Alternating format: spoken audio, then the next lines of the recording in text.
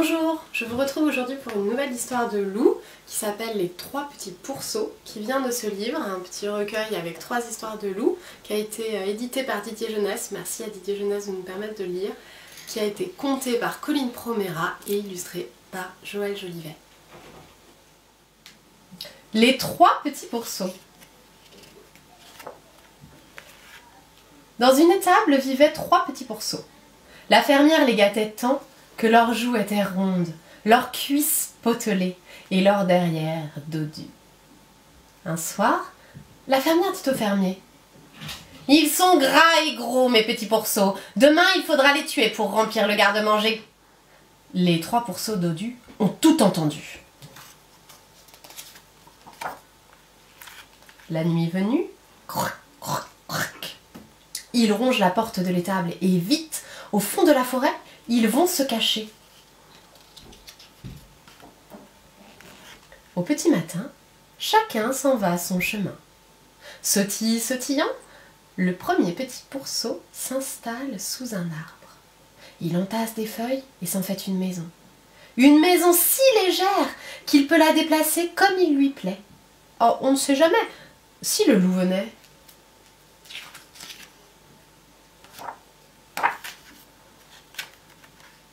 Trottine, trottinant, le deuxième petit pourceau arrive dans la clairière. Il ramasse du bois et s'en fait une maison. Une maison avec un toit. On ne sait jamais si le loup passait par là. Chemine, cheminant, le troisième petit pourceau s'arrête à l'orée de la forêt. Il rassemble des pierres et s'en fait une maison. Une maison qui ferme à clé. On ne sait jamais si le loup était tenté.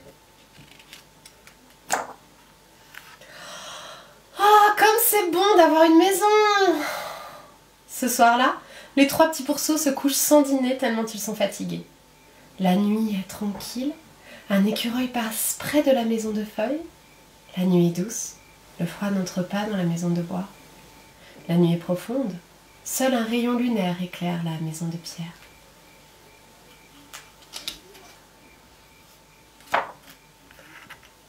Mais qui va là?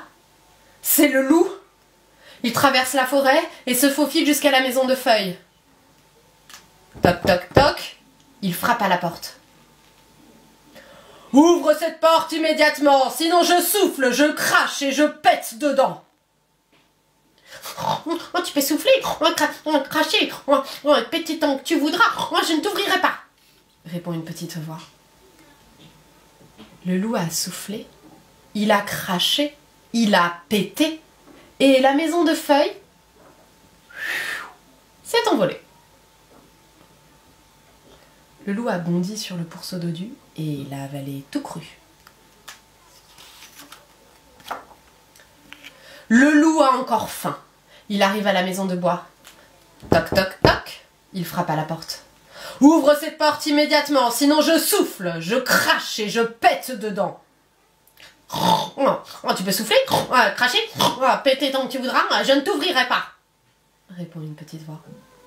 Alors le loup a soufflé, il a craché et il a pété. La maison de bois ne s'est pas envolée. Alors le loup a ressoufflé, il a recraché et il a repété. Et la maison de bois s'est effondrée.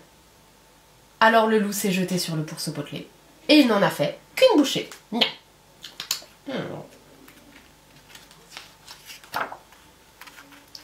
Le loup n'est toujours pas rassasié. Il court jusqu'à la maison de Pierre. Toc toc toc, il frappe à la porte. Ouvre cette porte immédiatement, sinon je souffle, je crache et je pète dedans.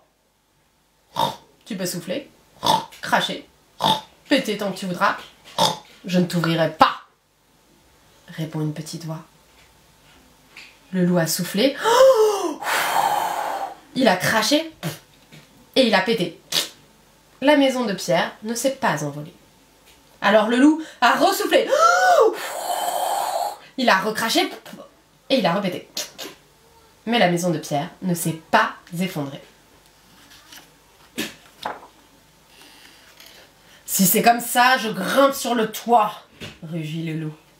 et par la cheminée je vais t'attraper. Vite, le petit pourceau attrape sa marmite, la remplit d'eau salée, l'accroche dans la cheminée, une pincée de thym, une feuille de laurier. Mmh. Sur le feu l'eau bouillonne, dans la cheminée le loup grogne, son ventre est coincé. Attends-nous, je vais t'aider. Le petit pourceau tire sur la queue du loup. Il tire et se suspend si bien qu'à la fin, plouf, le loup tombe dans le bouillon.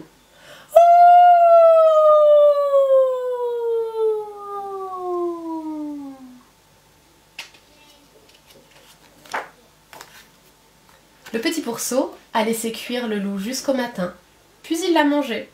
Bien fait